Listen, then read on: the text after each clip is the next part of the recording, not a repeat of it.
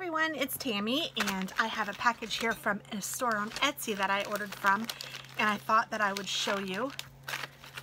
It is called Cupcake Tree and she makes rubber stamps and I thought that these would be fun to have. So let's see, I haven't even tried it yet, but this, and I haven't even really opened it. I just opened it to see what in the world it was. So let's see, this is cupcaketree.etsy.com. Thank you for your purchase. Some tips for using your new self-inking stamp. Make sure your paper is flat. Use both hands to hold the top portion and press evenly and firmly. Hold it in place for a few seconds. And then it has contact her for information. So this is really cute. Um, comes in its own little box and this says the Thompson family and has my address on it, which is probably not super smart that I show you. But let's go ahead and stamp the back side of this and then I will try to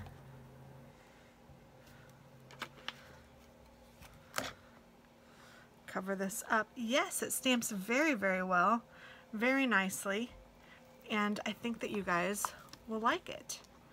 And how cool that it's self-inking.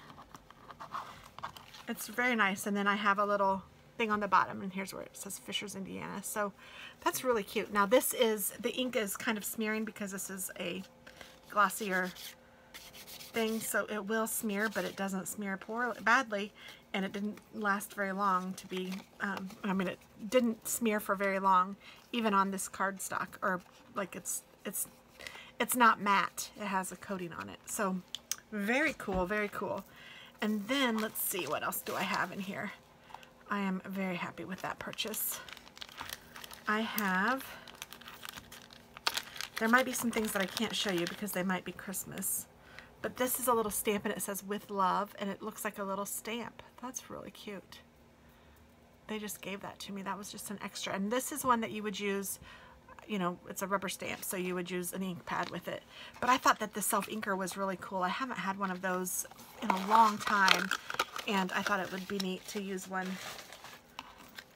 And then let's see here. She gave me some llama stickers. That's cute. really cute. And so there are a couple presents in here, so I will show you what I can. The first one that I can definitely show you is a little one that looks like knitting needles, and it has my name on it. And so I thought if I was giving a gift, I could stamp the knitting needles. Can't show you that one. I can show you these two. So this one is for my daughter, and I think I am going to put this in her stocking, but it says Miss Layton. And it's an apple because she is a teacher and she's a student teacher right now. Actually, I don't know if I'll put it in her stocking. I think I'll send this to her in a fall care package, maybe with some caramel apples or something. That would be really cute because uh, she needs to be able to use this while she's student teaching. So that's really cute. And then, oh my goodness, this is a cute one. It says Tammy and has a hedgehog holding a heart.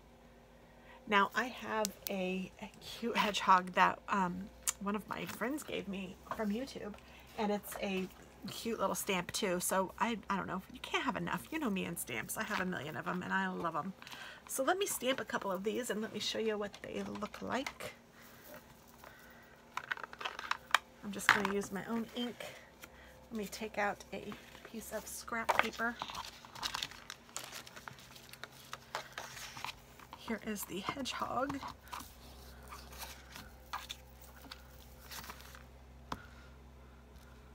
Oh, it's cute.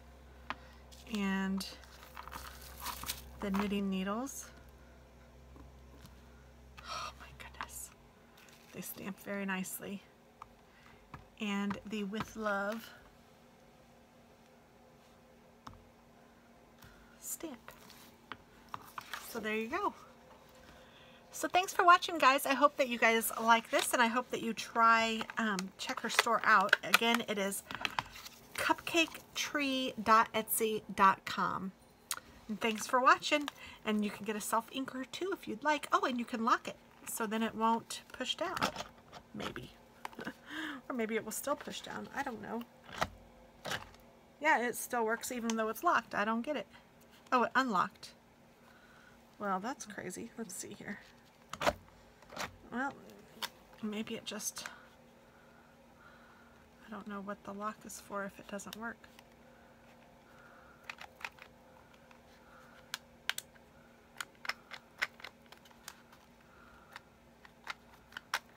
I don't I think it's supposed to lock but it doesn't work. So the lock portion doesn't work. Unless maybe you push it up and then lock it. Oh, I guess you could do it that way. You could push it up and then lock it.